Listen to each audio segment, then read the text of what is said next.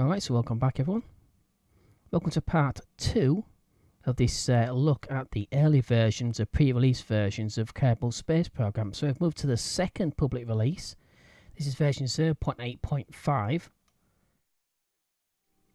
and it was released on the 11th of July 2011. So only a few weeks after the first version, which looked at the first video in this series, which was 0.7.3, released on the 24th of June. So this was released on 11th of July 2011. So only a few weeks later. Okay, not a great deal actually changed, except some bug fixes and adding symmetrical attachment in the VAB. So head into the game, we'll take a look around. Okay, so once again, on the Space Center overview, as you can see, nothing actually changed. Still got the launch pad with the tower and the VAB, the original VAB. As I mentioned, you can still find this elsewhere on the Kerbin as an anomaly now. So into the VAB. Alright, so once again in the VAB, and as always, we start with just a command pod. We have got a new save and retrieval function, so I can save and load craft now. No new parts. We have got an important bug fix. As you can see, we've got no new parts, no decals. And the important bug fix is the physics. The so in this version, they stiffen the joints up slightly. So these are actually useful now. And we've got symmetry attachment, which isn't going to be much use in the uh, rocket I'm going to be building. But it's nice to have it there on tap, so to say. Okay, so I'm going to put the original booster we used in the previous episode. I'm going to try and get to orbit by attaching some SRBs radially to those first stage tanks. Okay, so this is the uh, booster we tried before in the previous episode, except I've changed the final stage to a liquid booster. So I can throttle it off and on. And I've added an extra third tank, a third tank above each of the first stage engines. This will not get off the pad. So, oh, something else I'm forgotten about. Tap and hold down the left mouse, uh, tap and hold down the left alt key, I should say. And left clicking duplicates the parts. And also, you can actually release parts now. Another nice little feature. So now you can just, let's say you make a slight mistake, I want to change a, a let's say a part above here. You just take it now and just drop it there. Before in the previous version, the first public release, it would just disappear. So you couldn't really do that. So that helped build things larger, more complicated. It also helps you uh, bug fix, I suppose, in your boosters. Okay, so we've got lateral decouplers. Now, of course, symmetrical attachment doesn't actually really help us here because it only goes on the actual part itself. So unless you want three or four boosters on each tank, which is impossible, it's pretty much useless for us to use that. Okay, so I'm going to attach them as much as I can and try and align them because there's no offset tools still, so we can't slide parts about. So left alt key, left click, we'll try and align these that bottom part of this radial decoupler needs to go right on that bottom line of the tank.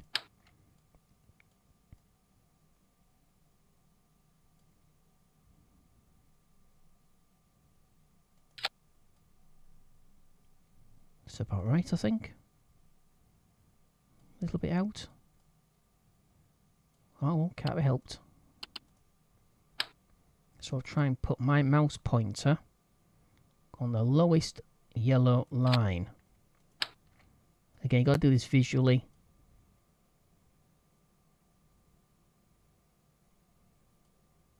Mouse pointer on the lowest light yellow line on the tank. Just like that.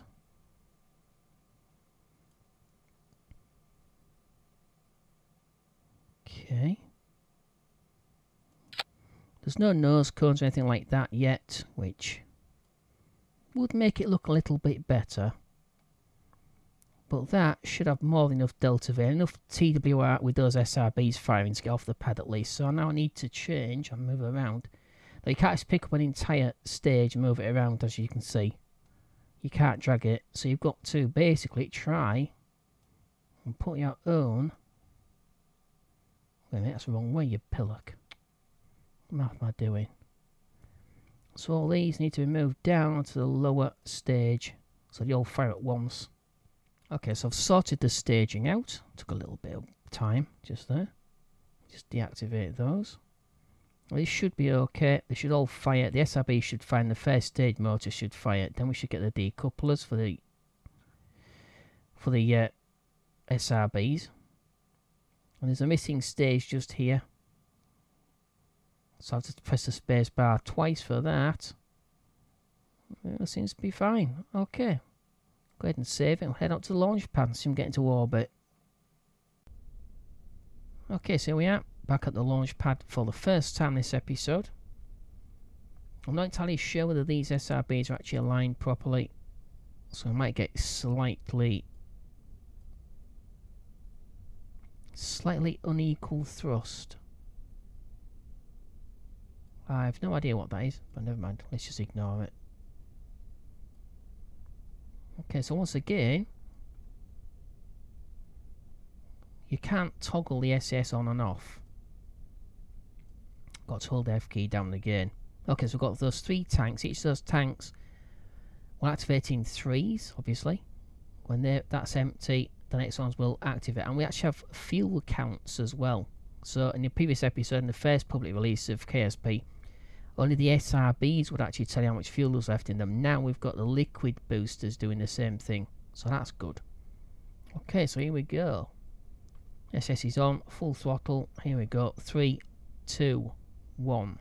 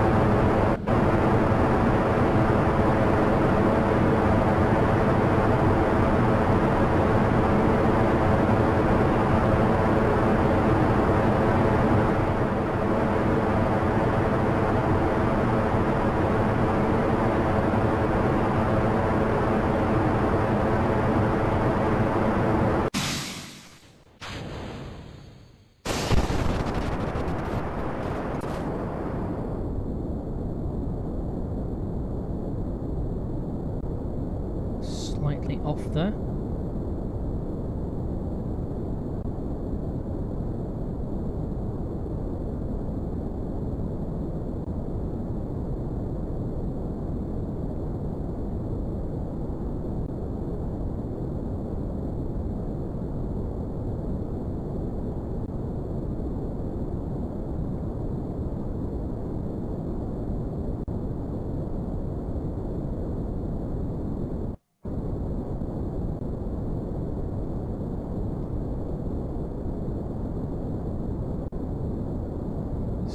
actually make a nice smooth ascent and then circularize nice and low.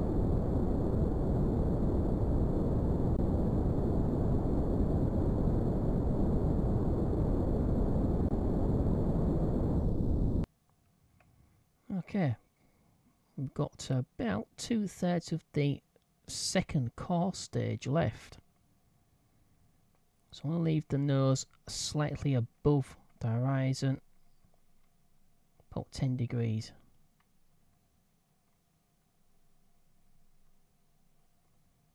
Just so I can control where the apoapsis is by thrust. I want to mess around manoeuvring because it's quite unstable still. Phew. So yeah, we start going the other way. I think slightly retro, slightly towards sort of the west rather than easterly direction, which isn't the best way to actually achieve orbit.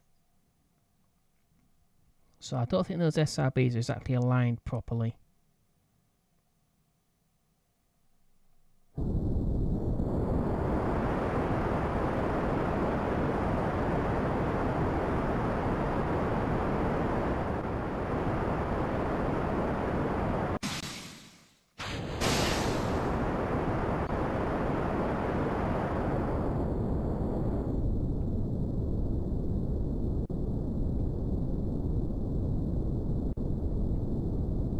us down a little bit. If it lets, mate. Good it's bouncing all over the place.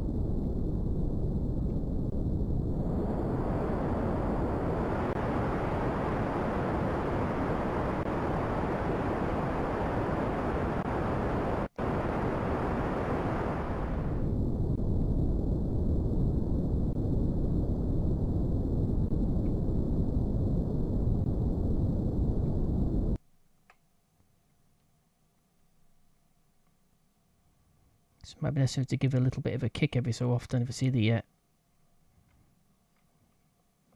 that needle coming down a little bit too sharply. So it shouldn't come down very sharply, it shouldn't be climbing very sharply either. So it shouldn't display much of a change in that needle. 2351 or so meters per second.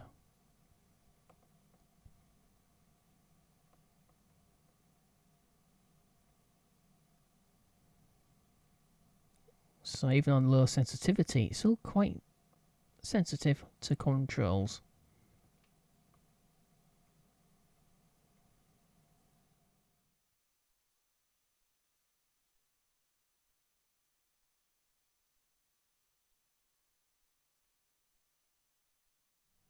Okay, so we're still climbing.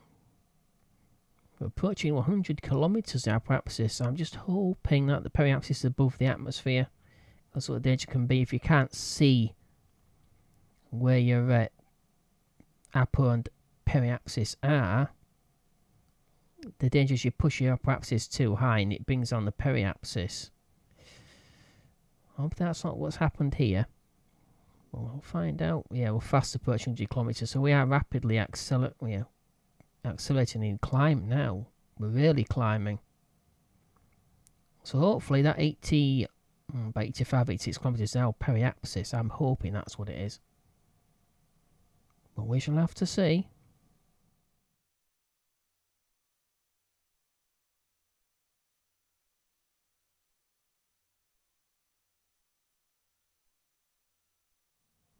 Okay, climate slowing right down now. 172.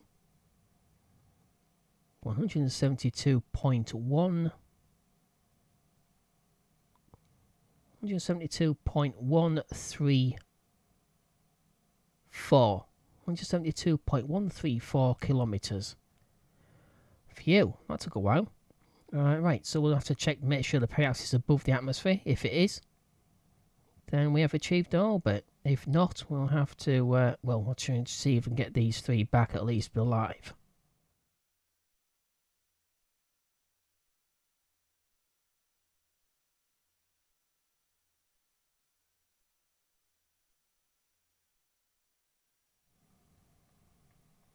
Okay, so here we go.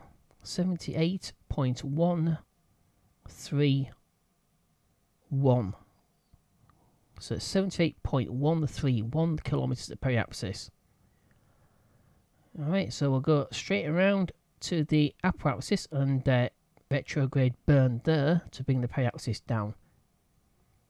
I'm not going to bring it down too rapidly though. I want, I want to try and splash down somewhere around this area because we can splash down in water and it's safe to do that than try and land on the actual surface itself, the actual land mass of the planet. Okay. Okay, so approaching apoapsis on the uh, retrograde marker already, or thereabouts. So I'm going to do a few seconds burn with this stage, and we'll leave this stage attached as well just in case. Okay, so a few seconds.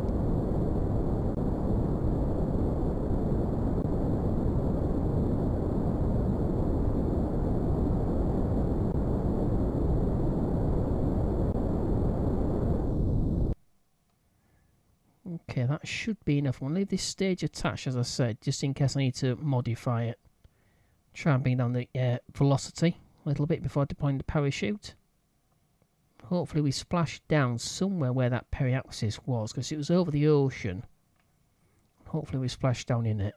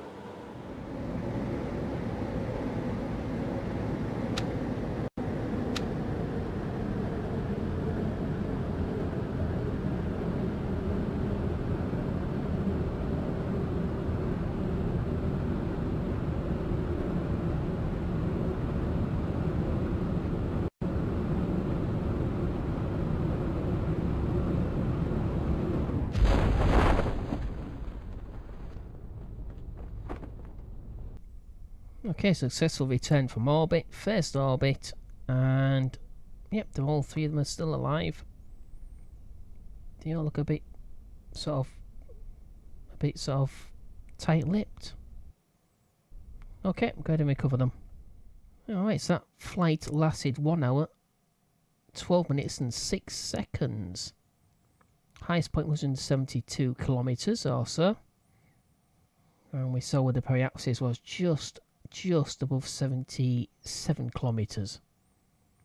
Alright, that's the end of the uh, second video of this mini-series. Taking a look at the uh, pre-release versions, the old versions of KSP. Hope you enjoyed. it. If you did, don't forget to click like, it's appreciated.